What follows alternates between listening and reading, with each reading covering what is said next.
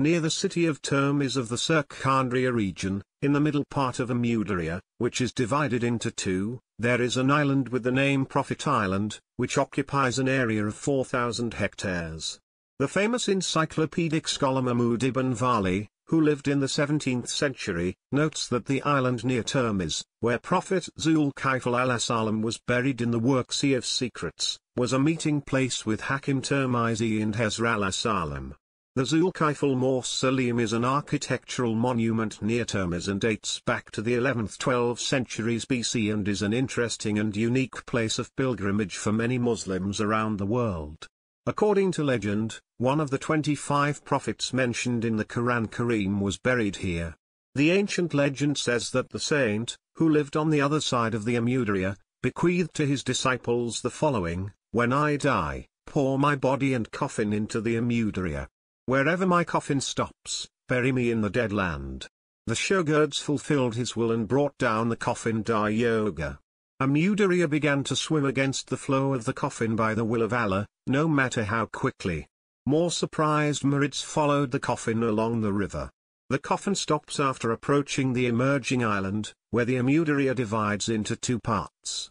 The Marids carried out the request of their master. After the coffin was buried on this island, people began to call it the Island of the Prophet. The area of the island is 4,000 hectares, the length is 8, the ene is 5 to 6 kilometers. A peculiar nature miracle, separated from the great universe, consists of reeds, buckthorn and sand. In it, unusual animals live freely, wild. Zulkifl, the owner of the covenant Paimon, the owner of the guarantee, is a historical person who lived in the Vi, 7 centuries BC. Rumor has it that Zulkifl was guaranteed to protect his people from need and to become a just judge, and he fully fulfilled this task for 75 years. The Zulkifl mausoleum on the island consists of a large mosque with a dome built in different periods and a small tomb adjacent to the south and two rooms attached to it from the west. Mosque Murabat Ali, with Aldi roof, Bezelgisht Chogel and tree-styled aisled, Ganchjirai patterns Ishlangan to the sanctuary. The mausoleum was reconstructed and restored at the beginning of 2018 th year.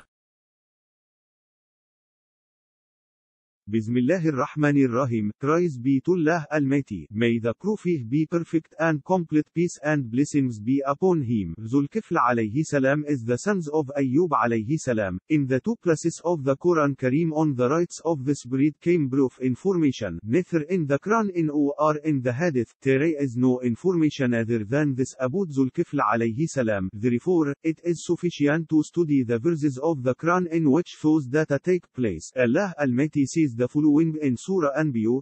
And Ishmael, Andrew and Zulki FLNA Mintion, each of team is one of the Patian verse 85 as noted, the information about Zulkifl alayhi salam little, the Mintion along with the famous prophets in the Surah Anbiya indicates that HEWA is one of the prophets of the breed, at the same time, in this verse HE also joins the ranks of the Patian. And we put team in our mercy, they are among the righteous verse 6 86 Thanks to their patience Allah Almighty introduced them to His mercy, bestowed good deeds, they were among the righteous, therefore, it is mentioned in the Quran, Allah Almighty will bless the horn of Sud, mention both, Ismail, Al, Yasa, and Zulki FLNA, all of them are of the Ahirs, verse 48, it is also worth remembering that in the lives of these three prophets there have been ABA events, they were also from the Ahirs in the set of The best of servants. There are many sins in the lives of these prophets, in their devotion to religion, in their patience of calamities and tribulations, in their endurance to various trials, in their ability to bear the azures from idolaters and hypocrites. From the book Islamic History.